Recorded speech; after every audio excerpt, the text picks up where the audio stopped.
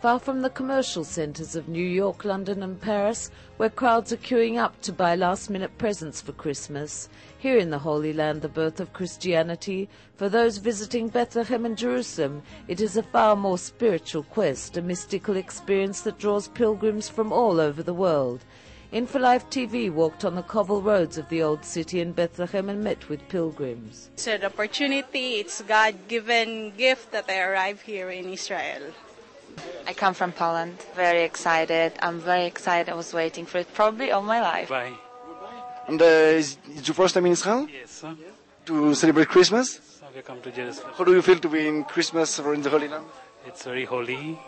It's very nice. And you will be in uh, Bethlehem in Jerusalem? Or On Christmas Day, we'll be in Bethlehem.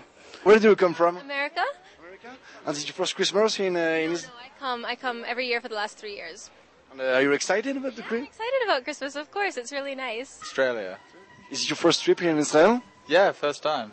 First Christmas in the Holy Land. How do you feel about this? Excited? I'm very excited about it, very much so. I've never come here before and now I'm in the Holy Land, so it's very exciting for sure. From Sweden.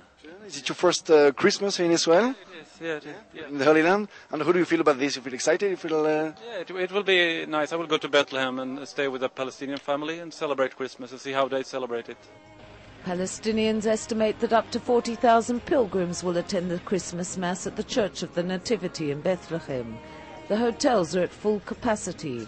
In preparation for the onslaught, the Israeli Ministry of Tourism, together with the Palestinian Ministry, coordinated in order to facilitate easy access to the city for tourists wishing to visit there.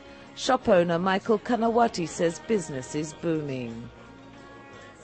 It is uh, much better than the years before. Thank God for that. Uh, we hope it will continue like this.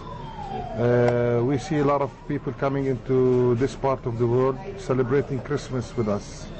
This is a very good news for uh, the town of Bethlehem and for the people of Bethlehem.